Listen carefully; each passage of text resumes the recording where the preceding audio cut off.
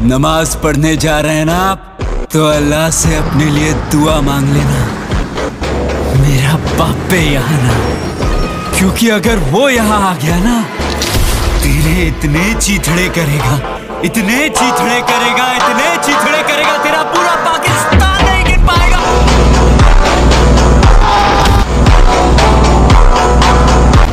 दुश्मनों पूछो, तारा सिंह कौन है?